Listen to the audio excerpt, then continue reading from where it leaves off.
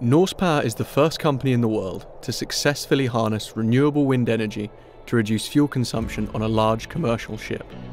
A clean technology company founded just five years ago in Helsinki, Finland, Norsepower has become the leading provider of low maintenance, software operated, and data verified auxiliary wind propulsion systems for the global maritime industry.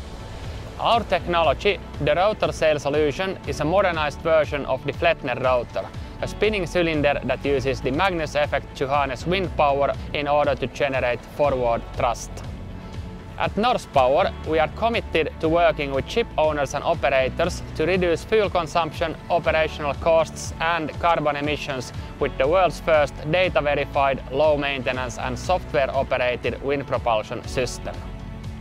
The Norsepower rotor sail solution has a track record of delivering significant reductions in fuel burn, fuel costs and emissions, including carbon. The rotor sails can be installed on board new vessels or retrofitted within hours on existing ships. The technology is delivered as a total turnkey solution that includes delivery, installation and maintenance of both the hardware and software components. Our systems are compatible with all our fuel and emission-saving technologies in the shipping industry, meaning even greater fuel reductions, but also cutting emissions like sulfur, particulate matter and carbon. Each rotor sail is made using the latest intelligent lightweight composite sandwich materials to deliver a simple, robust and high-tech technology. The first commercial installation of our rotor sails was 2014 on the MS Estraden, a 9,700 deadweight ton ro-ro carrier. In that time, the technology has been independently verified to show consistent fuel and emissions reductions over 6%. That's 400 tons per year in reduced fuel, almost $200,000 per year in saved fuel costs, and 1,200 tons less carbon emitted. A key benefit of the technology is its ease of use.